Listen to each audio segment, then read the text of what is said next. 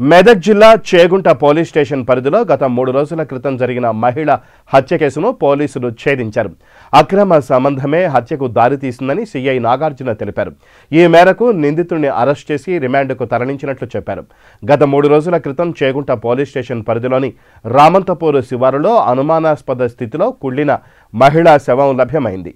దీనిపై కేసు నమోదు చేసి దర్యాప్తు చేపట్టిన పోలీసులు మెదక్కు చెందిన పోచమ్మగా గుర్తించారు. అక్రమ సంబంధంతోనే నర్సింహులు అనే వ్యక్తి పోచమ్మను హత్య చేసినట్లు తెలిపారు.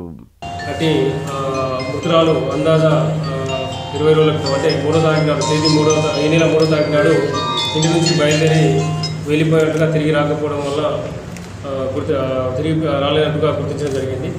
తద్వారా ఆమె యొక్క సెల్ ఫోన్ ద్వారా మరియు ఇతర విషయాలు అంటే వారు చెప్పింది ఏంటంటే చేకుంట మన చేకుంట మండలం చిన్న శివరం చెందినటువంటి ఎరకల నరసింహ మీద అనుమానం వ్యక్తం చేయడం జరిగింది. అందులో భాగంగా ఈరోజు ఎరకల నరసింహ అదుపులోకి తీసుకోగా మృతురాలకు సంబంధించినటువంటి తనకు మృతురాలకు ఉన్నటువంటి సంబంధాన్ని చెప్పడం జరిగింది. దాంతోపాటు హత్య చేసినట్లుగా ఒప్పుకోవడం జరిగింది.